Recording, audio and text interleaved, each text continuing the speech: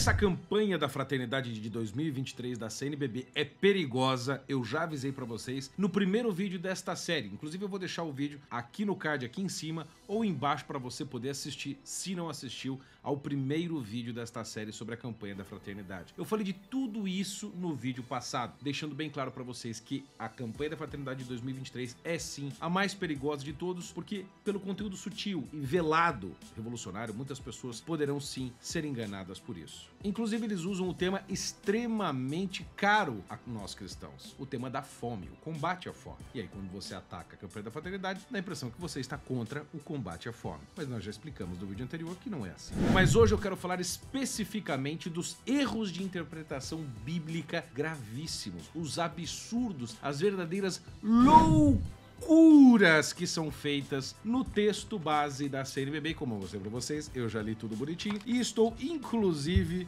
com a Bíblia da tradução oficial da CNBB, para não dizer depois que eu estou distorcendo as coisas, com traduções complicadas, não é mesmo? Ou seja, nós temos aqui em mão um texto produzido pela CNBB, a Conferência Nacional dos Bispos do Brasil, que está lotado de erros de interpretação bíblica. Vamos assumir que sejam erros e que erram os bispos gravemente numa das coisas que eles têm que fazer, ou melhor, em duas o bispo tem que governar o povo, santificá-lo e também ensiná-lo. Ensinar não estão, porque estão ensinando errado. Santificando não estão levando ninguém para o caminho de santificação, pregando essas bobagens por aqui. E depois governar, bom, isso aí já é outra conversa. Esse vídeo é muito importante para você, católico, preocupado com a igreja, assim como eu. E como eu já disse, a campanha da fraternidade de fato está perigosa. É um tema sedutor, você tem um texto que ludibria, um texto subversivo, vamos dizer assim, e aquela velha politicagem de sempre. Então, compartilhe este vídeo ao máximo para as pessoas nos seus grupos de Zap Zap, em todos os lugares. E vamos agora aos erros de interpretação bíblica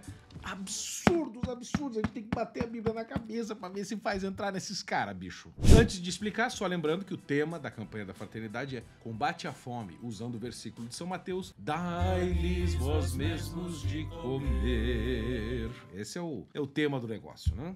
E aí eles usam todas as passagens bíblicas relativas a pão, a alimentação nas escrituras e aí começa a festa. Então ele começa a contar que Jesus, isso é verdade, quando foi alimentar aquela multidão de 5 mil homens, sem contar as mulheres e as crianças, que devia dar, sei lá, umas 15, 20 mil pessoas, ele retirou-se para um lugar deserto. E aí a CNBB vai explicar para você o que é o lugar deserto. Eles dizem que o deserto é um lugar e um tempo de partilha, de igualdade, em que cada um conta com a solidariedade dos outros, onde não há egoísmo, injustiça, prepotência, apropriação individual dos bens e Mentira! Primeira coisa, o deserto não é um lugar de partilha, de solidariedade, de maravilha, um paraíso socialista. Não. O deserto é um lugar em que você não tem bens, em que é difícil o acesso à alimentação, em que há hostilidade por salteadores e vários povos inimigos querendo conquistar uns aos outros. Ou vocês não leram o livro de Êxodo, Josué, Juízes e etc. Bom, eu li e eu sei como é que funciona. E segundo lugar, deserto não é lugar de partilha. Não, deserto é um lugar de aprofundamento espiritual na noite escura da alma, como diria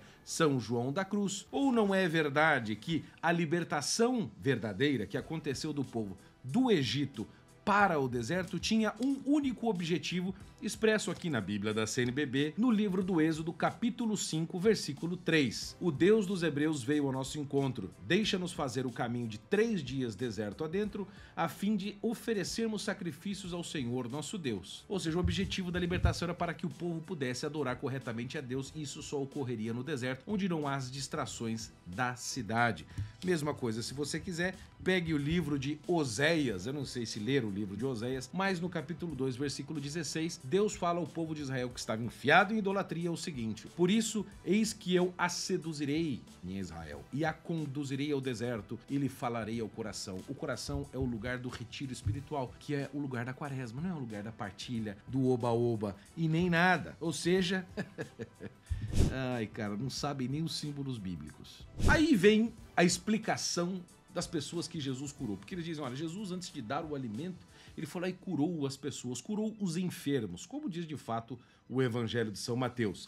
E aí a CNBB explica Quem são os enfermos? Diz assim: isto é, são as pessoas destinatárias privilegiadas da misericórdia de Deus, doentes, aflitos, pobres, abandonadas e exploradas. O enfermo é uma pessoa explorada. Explorada por quem?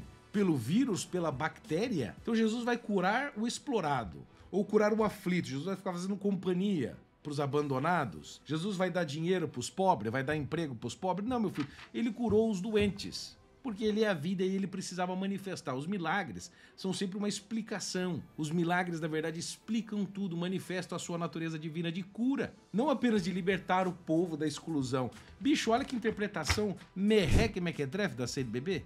Bom, assim, e uma coisa digna de nota, quando você lê este cento e lá vai pedrada aqui, pontos, 160 e lá vai pedrada de pontos que a CNBB bota aqui, eles não mencionam e não explicam que só foi possível alimentar 5 mil pessoas com cinco pães e dois peixinhos porque Jesus operou um milagre. Um milagre, ou seja, uma impossibilidade da realidade. Ou seja, Deus infundiu o seu poder dentro da realidade, o próprio Cristo, e transformou as coisas. Isto é um milagre. Ou seja, Jesus pegou o pão e fez o pão se multiplicar. Não, eles não falam isso, não existe a menção. Existe uma breve menção lá, mas muito no meio da confusão. Eles não explicam que é um milagre.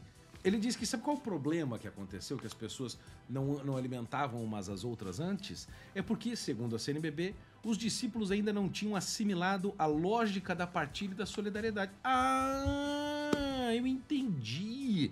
Então quer dizer que uma multidão de 5 mil pessoas, de 5 mil homens, ou seja, umas 20 mil pessoas, não puderam se alimentar porque elas estavam presas com as amarras do capitalismo, com a ideologia, que faz com que você pense que as suas coisas são suas e que você não deve ajudar os outros, que você é proprietário das coisas. Ou seja, as amarras ideológicas do capitalismo foi a verdadeira fortaleza que impediu a partilha do pão, mas Jesus veio quebrar as fortalezas mentais e trazer consciência social. No fundo, é isso que eles estão dizendo para você quando não comentam que foi um milagre. E aí, obviamente, vem a oração da campanha da fraternidade, porque Jesus assim, cura os aflitos, os enfermos, os excluídos, né? Daí então ele acaba com a lógica do capitalismo na cabeça das pessoas para fazer o quê? Diz a oração da campanha da fraternidade. O Espírito Santo nos inspirar, o sonho de um mundo novo, ajudar a promover uma sociedade mais solidária e acabar com o pecado da indiferença com a vida. Pecado da indiferença com a vida.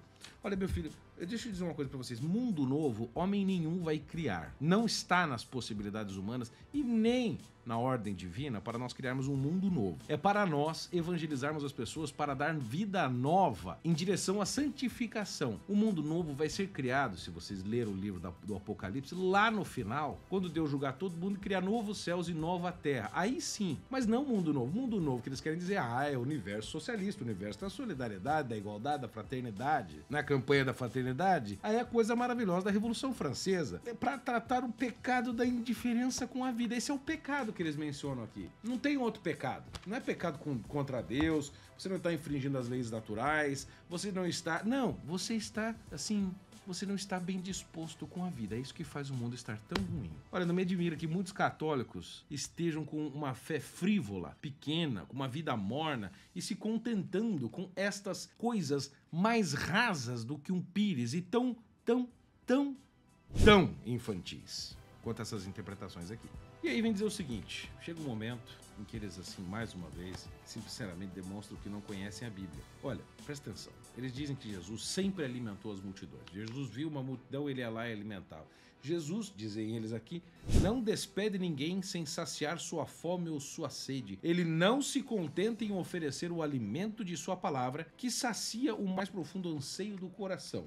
Não é isso que as escrituras dizem. Jesus Cristo multiplicou os pães para a multidão uma vez e duas vezes. Na terceira vez em que tentam buscar Jesus para o alimentar, eles vão atrás dele. Lá no João capítulo 6, versículo 22, ele reencontra a multidão. E eles querem, oh, nos alimente, nos dê pão e peixes como o Senhor fez da última vez. Oh, queremos fazê-lo rei. Aí Jesus diz assim: Olha, no versículo 26. Em verdade, em verdade vos digo. Quando Jesus fala em verdade, em verdade vos digo, deixa eu dar uma aula de interpretação bíblica. Em grego é amen, amen. Quer dizer, Jesus vai falar um negócio muito sério. Então ele diz: em verdade, em verdade vos digo, estáis me procurando, não porque viste sinais, não porque viram milagres, mas porque comestes e ficaste saciados, porque vocês encheram a barriga. Vocês estão me procurando apenas pela comida. Diz Jesus: trabalhai não pelo alimento que perece, ou seja, pelo pão mesmo, de farinha, mas pelo alimento que permanece para a vida eterna e que o Filho do Homem vos dará, a Eucaristia. Pois a este, Deus Pai o marcou com o seu selo.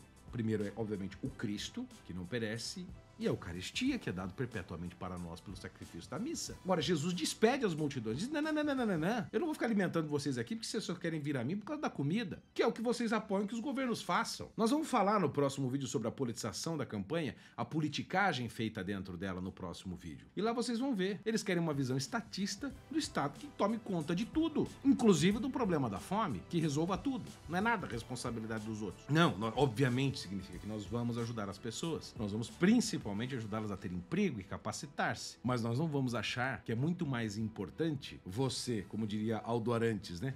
resolver o problema da justiça social e depois pregar o evangelho. Lindo, vai todo mundo pro inferno de pança cheia. Olha só, e aí eles entram aqui no comunismo sutil, num velho argumento da teologia da libertação. Eu não posso dizer todos, mas parte dos bispos da CNBB é adepto, que é essa história de ficar usando o texto de Atos 2,42. Eu não aguento mais ouvir esse texto na boca dessas pessoas sendo interpretado fora de contexto, porque todo texto fora de contexto é pretexto para você botar heresia ou loucura na cabeça das pessoas. Olha o que a CNBB disse. É imprescindível recordar, recordar que a igreja dos primeiros séculos colocava tudo em comum e assim vivia em comunhão, não somente no ritual, mas na vida cotidiana. A igreja de Jerusalém é verdade, diz o texto. Partilhava o pão nas orações etc. E tinha tudo em comum. Isto está no texto. Eles dividiam todos os bens e davam a um e a outro conforme a sua necessidade. Você vai estar pensando, porra, então quer dizer que a igreja do primeiro século era comunista? Bom, não era comunista porque não tinha ditadura e não matavam as pessoas que discordavam, porque isso é o comunismo. E o que aconteceu então? A igreja de Jerusalém foi à falência. Ela virou uma igreja absolutamente pobre porque não produzia nada e apenas consumia os bens que todo mundo dava, o que no começo é compreensível por uma espécie de ímpeto caritativo do evangelho. Mas, obviamente, a gente sabe que a realidade não é assim. Nós precisamos produzir, tanto que São Paulo depois vai dizer tardiamente: aquele que não trabalhar, que também não coma, não é mesmo? Então, diz aqui São Paulo, em Romanos 15, 26. De fato, a Macedônia e a Acaia decidiram que se fizesse uma coleta para os santos de Jerusalém que estão na pobreza. Decidiram sim, mas eles têm também certa dívida, porque foram evangelizados.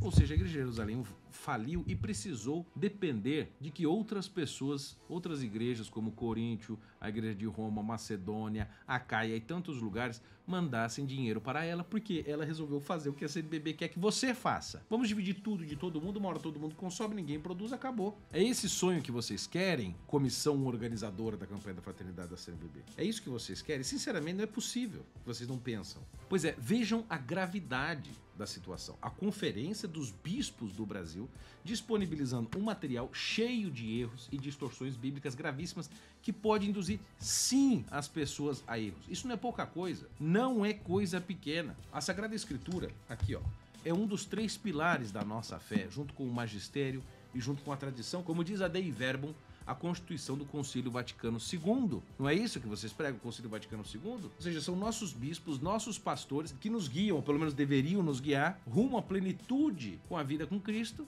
mas não, estão fazendo exatamente o contrário. Ou seja, quem dera pudéssemos dizer que eles são apenas ignorantes do que estão fazendo. Não são, não são. Eles sabem muito bem o que estão fazendo. E é por isso que eu e você precisamos agir. Você vai dizer, ah, Bernardo, mas como é que nós devemos agir?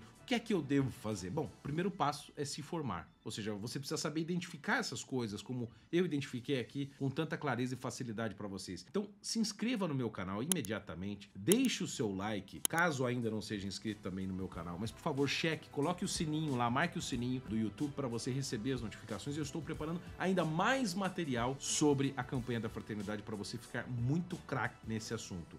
Nos próximos dias eu vou postar ainda outros vídeos sobre a campanha da fraternidade e o próximo será sobre a politização da campanha da fraternidade 2023. Será o terceiro vídeo desta série, então eu preciso que você compartilhe muito este vídeo, porque a omissão dos bons é o triunfo dos maus. Vambora, porque tem muito trabalho para frente.